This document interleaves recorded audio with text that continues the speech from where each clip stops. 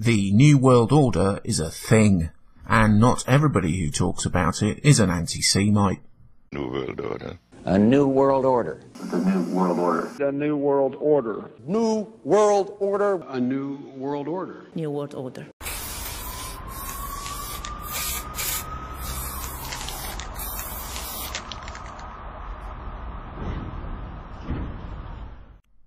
If ever you mention the term New World Order, people tend to look at you like you've taken leave of what little sense you've got, given up rational thought in favour of dribbling, and have been using your brain as a psychedelic sieve. This is understandable, because the idea that a hidden cartel of the so-called global elite control the world's economy and its political agenda is beyond imagination for most. Thankfully, for those who care to retain an open mind, there's no need to employ imagination, because the historical evidence which establishes the fact is unequivocal. In 1902, one of the world's richest men, Cecil Rhodes, made provision in his seventh will to create a transatlantic partnership of bankers, industrialists, politicians, military leaders, academics, artists, and media moguls to set about creating a one world government. The evidence documenting their activities and those of the Round Table movements and various think tanks they spawned, such as the Council on Foreign Relations and the Royal Institute of International Affairs, is all in the public domain. Which kind of makes the allegations that those who talk about it believe in secret conspiracies rather silly. It's no secret. Of course, if you ever actually point to this well-documented evidence, the best you can hope for is that you will be called a loony conspiracy theorist. In these modern days of mass media, which is like an anti-thinking soup of stinking sound bites, government-sponsored fairy tales, and Pied Piper-inspired corporate self-sacrifice incantations, it is far more likely that you will also have the label of anti-Semite slapped on your bewildered forehead. People who highlight that world leaders have been selling the idea of a new world order for generations must be labelled anti-Semites. As is often the case these days, that accusation is both untrue and a tactic deployed by the world's compliant mainstream media and political talking heads to divert attention away from the actual issue. The actual issue being that there really are people actively pursuing global power. By pretending that such concerns are hate crimes, rather than going anywhere near discussing the mountain of evidence which clearly shows that the New World Order is a thing, the obvious objective is to convince everyone else that only anti-Semites question global financial institutions. Therefore, if you ever mention this down the pub, you deserve to be thrown out onto the streets with the heckles of triggered offence victims echoing in your ears. Apparently, the notion that immensely wealthy people who are capable of manipulating global markets also possess the capacity to hold a meeting to discuss other ways of making themselves even more wealthy and to plan how to wrestle further power and influence away from the window licking masses is so outrageous it must be denied at all costs. So the New World Order means different things for different people. For globalist world leaders, it is the promise of them being able to control absolutely everything, so that they can make the world what they want it to be and live happily ever after. For the people called anti-Semites, who have bothered to find out what world leaders have been talking about for generations, this utopia doesn't sound so appealing primarily because the people who have been in charge for the last 150 years keep killing millions of people and have shown no great enthusiasm to stop doing it. Obviously pointing this out makes you an anti-Semite. A much larger group of the Earth's population who have swallowed the monumentally idiotic lie that the concept of the New World Order is an anti-Semitic trope don't think the New World Order is real happy to point a clueless accusatory finger at anyone who tries to warn them that the global elite are actually a bunch of parasitic robber barons who have amassed their global power by operating a Ponzi scheme called the global monetary system, they will no doubt be surprised when they discover that sustainable development means depopulation as far as the New World Order are concerned.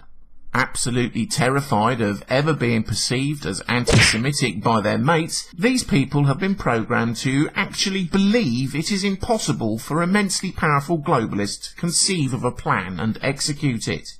Anyone who suggests that they are in fact quite capable of doing so must be an anti-Semite, and everything they say is crazy, and any evidence they point to is made up.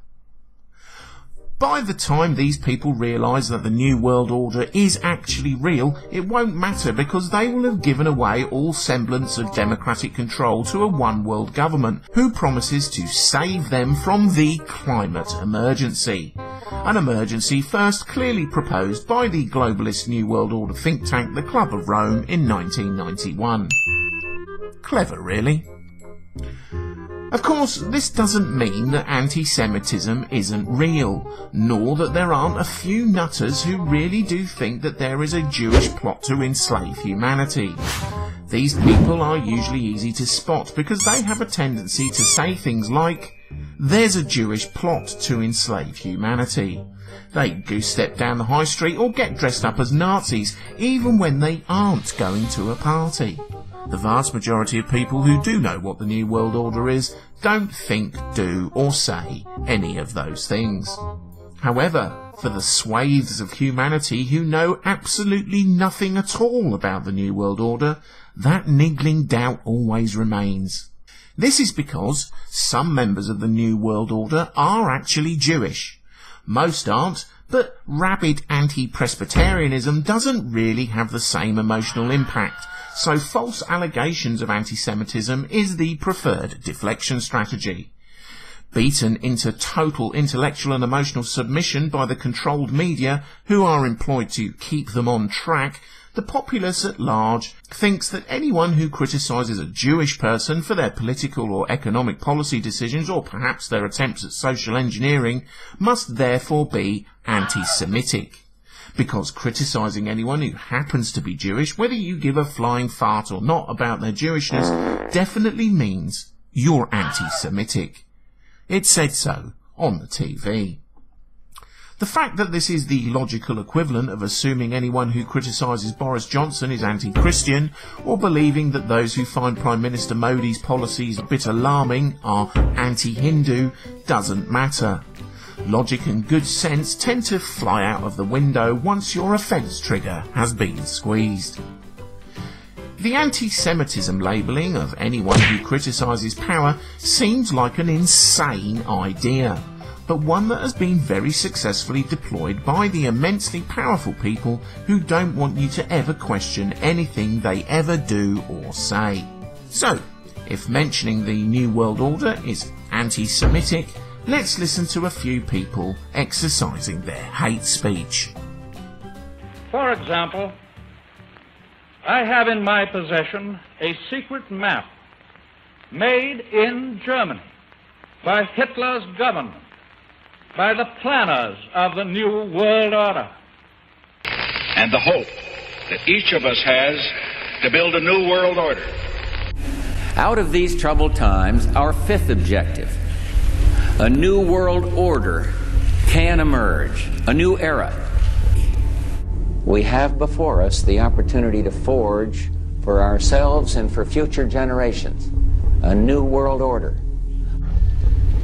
Now we can see a new world coming into view. A world in which there is the very real prospect of a new world order. The President George Bush has talked time and time again about the new world order. And this is the best chance to begin to establish the new world order. And after 1989, President Bush kept said, and it's a phrase that I often use myself, that we needed a new world order. As I've told you before, because I love it so much, they also created the Great Seal of the United States. And that Great Seal of the United States has on it Novus Ordo Seclorum, a new order for the centuries, for the ages, forever. Now, much has been said by the Secretary of State and others about a new world order, about a defining moment in history. What kind of new world order we really create? With the end of the Cold War, Henry Kissinger pointed out in his superb book on diplomacy, he said, None of the most important countries which must build a new world order have had any experience with the multi state system that is emerging. Never before has a new world order had to be assembled from so many different perceptions or on so global a scale. When really a new world order can be created, it's a great opportunity. It isn't just a crisis. The affirmative task we have now is, uh, is to actually um, uh, create uh, uh a new world order. There is a chance for the President of the United States to use this disaster to carry out what his father, a phrase his father used, I think, only once, and hasn't been used since, and that is a new world order. Uh, and, and, and then President Bush, at the end of, the, of that war, promised he would give four graduation addresses, four commencement addresses, describing that New World Order and what America's role was going to be in it. We've got to give them a stake in creating the kind of uh, uh, world order that I think all of us would like to see.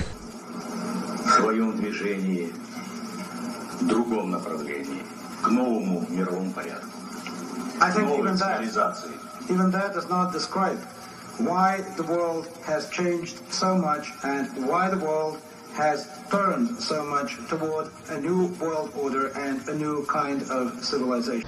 But the point here is, it's not about me, it's about the idea of freedom. It's you... about the future of the whole region. It's about the future of Europe and a new world order. The transatlantic partnership was never just the foundation of our security. Out of it came a new Europe, a new world order. The pieces are in flux. Soon they will settle again. Before they do, let us reorder this world around us. I think a new world order is emerging, and with it the foundations of a new and progressive era of international cooperation. We have resolved that from today we will together manage the process of globalization. It's what I believe is our destiny of success in this new world order. It is a new world order with significantly different and radically new challenges for the future. India and China are clearly becoming part of our new order. You know, world order is about a balance of power, but it's also about uh, commonly accepted rules about what ought to be the, the operating system of the world, how ought it to be set and changed. The Concert of Europe, quote, had a deeply conservative sense of mission.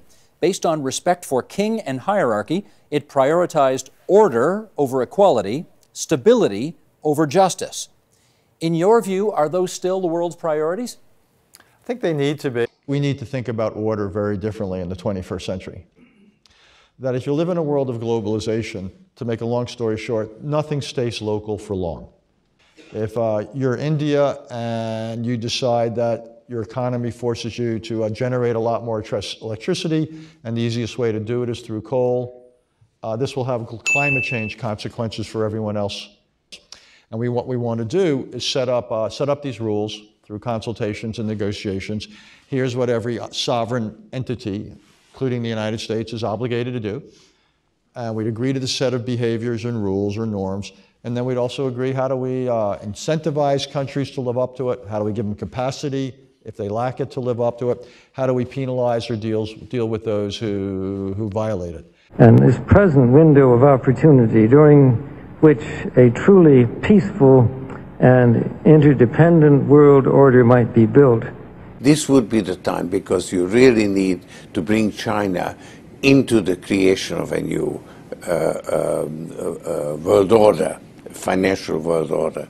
Uh, uh recapitalize uh, the banks, and and then work on a better world order, where we work together to resolve problems that confront humanity, like global warming. But it is the awareness itself that will drive the change. And one of the ways it will drive the change is through global governance and global agreements. It, it's, it's past the point of talking. Um, we know historically that the global governance um, the sort of agenda um, to these issues is, is, very hard to try and, is, is, with all the best intentions, it's very hard to actually activate. The European countries are binding together slowly, forming the EU. Eventually, we will see the rise of a single world government.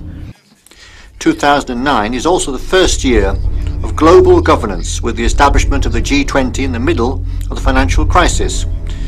The climate conference in Copenhagen is another step towards the global management of our planet. Today, Europe can propose the principles and rules that will shape a new global order.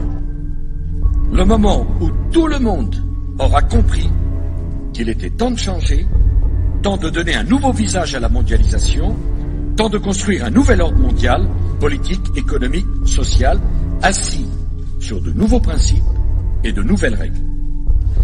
Au nom de l'Europe, en tant que président de l'Union européenne, j'ai proposé que se tienne d'ici à la fin de l'année un sommet mondial pour que soient discutés et décidés ces nouveaux principes ces nouvelles règles. On, on, a world level, I think it's absolutely necessary that we go in the direction of a network of regional organizations. We have the European Union in Europe. Uh, maybe tomorrow in Asia they shall create an uh, Asian uh, currency uh, unit, uh, like we have the uh, Economic and Monetary Union in Europe. there is certainly also an enormous uh, uh, intense cooperation more and more in, in, in Latin America. Uh, there are the Arab, Arab countries. So I see a world order in the future with a multipolar world order. We can build the 21st century world order the nature of the security threats we all face is completely different today from even a few years ago. Proliferation of weapons of mass destruction, new arms races, terrorist fighters, but also the impact of climate change. These are all security issues, probably the most pressing ones of our times, because we can be somehow, and maybe more than others, a security provider at large. Today, I believe Europe knows that military means are sometimes necessary, and there is no ambiguity about that. We know that. And this is why we have, in the last two years, built at last the European defense. A dream that our founding fathers and mothers always dreamt of but never managed to accomplish. And now it's done. We have united as European Union the second largest defense budget in the world. Together, joining forces, we are definitely uh, a superpower, economically and also in security terms. The Europe of Defense is now a reality with solid foundations, and this is our contribution, the European Union contribution to the security of our citizens, first and foremost, but also it is our commitment to a more cooperative, multilateral New World Order. It is our commitment to a more cooperative New World Order. Our commitment to a New World Order. Our commitment to a New World Order. New World Order.